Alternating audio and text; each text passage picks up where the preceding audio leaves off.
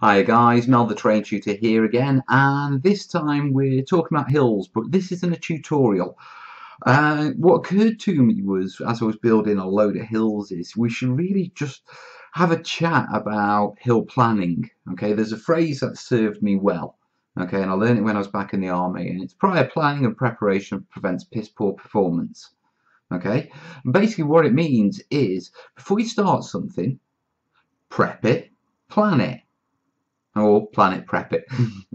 but you get the idea. Basically, just don't go charging into things, yeah? Otherwise, you're going to make mistakes, especially if it's a big project. Now, if you're making a one-off hill, you can generally sort of wing that. But if you're making a table's worth of terrain, okay, then that needs some planning. So what I thought I'd do is I've jotted down just a couple of points in no specific order, and I thought I'd just quickly talk through a few of the different points, and then, you know, well, you can use that as a springboard of what to think about when you're planning you know a, a terrain build. And I'm, this one's specifically on hills you know I don't want to talk about other things just yet.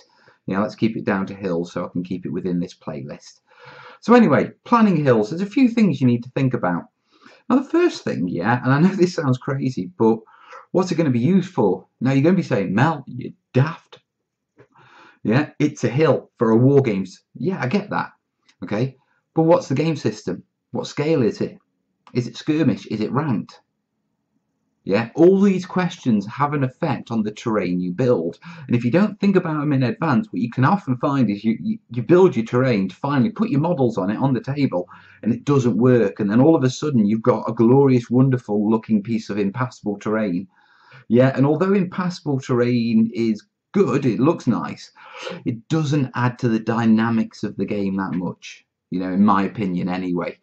So let's talk about function, okay? What's the, the hill there to do? Is it there to look pretty? Is it there for models to stand on? Is it there for models to hide behind? Is it there for models to take cover on? Okay, now take this. You've seen this in a prior tutorial. This is designed for models to stand on. Okay, you can't take cover from it because you can't stand behind it. Okay, but I've built this in such a way that models can stand on here. Yeah, pretty obvious. It's flat. Yeah, we all get that. But if I didn't know what gaming system this was for, I could have quite easily made this more rougher, okay, and then it'd be no use for a skirmish game. So that's that's the sort of stuff I'm talking about. Know the function of your terrain. Know what sort of models are going to be going on it. What scale are they? I mean, this is great for a 28 mil. Yeah, but it'd be naff for 54 mil. Yeah, it'd be it wouldn't look right in 15 mil, and 6 mil would just be a joke. I mean, you'd have these, yeah, towering above the people at, at 6 mil, and even 15 mil.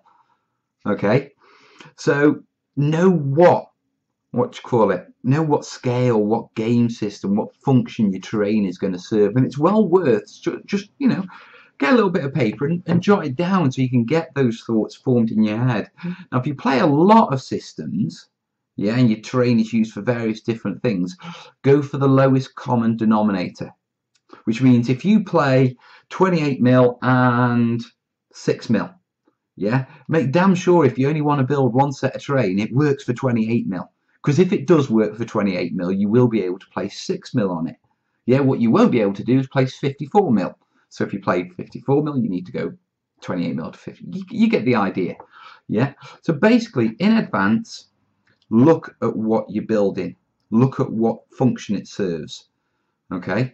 Next sort of thing you need to sort of decide is well, what sort of terrain is it? Is it going to be flat? Is it going to be gradiated? Am I going to have cliffs? Am I going to have caves? How am I going to do those things? You know, do you want a mix? If so, write down what sort of mix you want what biome that's a word from minecraft. What biome does it belong to? You know is it deciduous northern european? Is it desert? Is it arctic? Is it jungle? Is it alien? Is it atomic wasteland?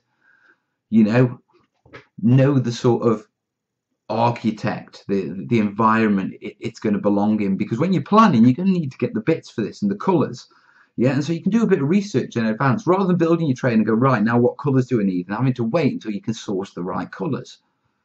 Okay. Uh, other things, are you going to make any of the pieces modular? If so, which pieces are going to be modular? How much terrain do you need?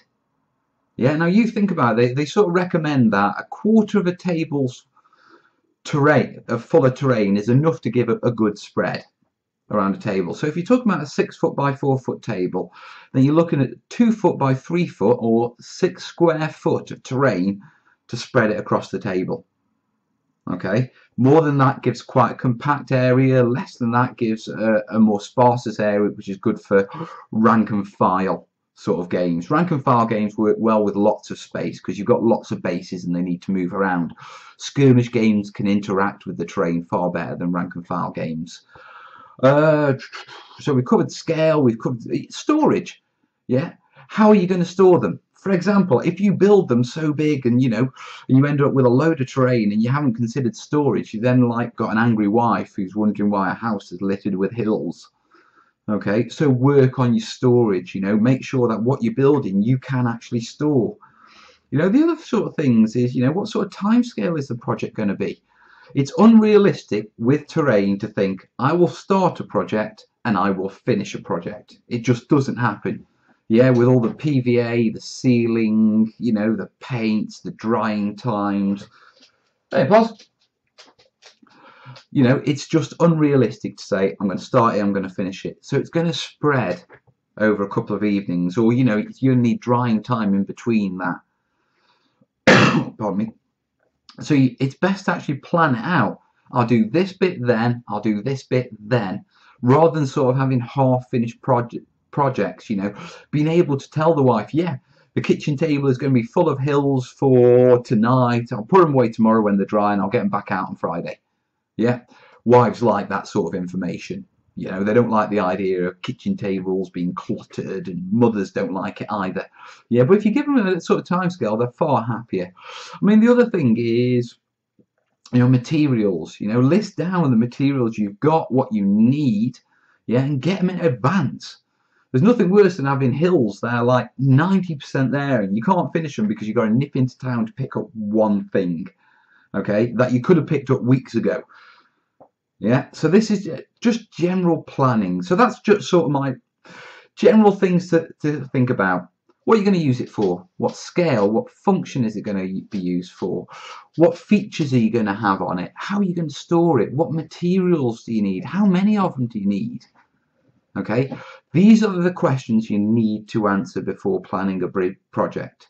Okay, I'm not saying that you can't do a big project without answering these questions, but it will go far better if you ask these questions in advance and you will be far happier with the results.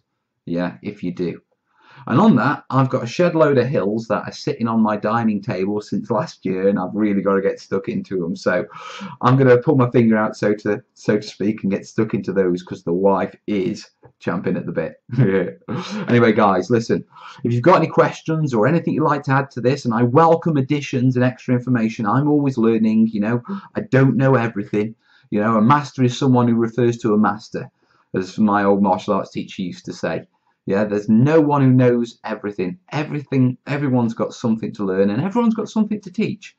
So if you think you can share some information that I haven't come across, throw it in the comments. Yeah, I really do appreciate it.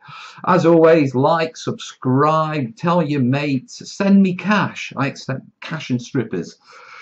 Or use terrain. Eh? but anyway, guys, I've got to crack on. You have a good day. All the best, yeah. ta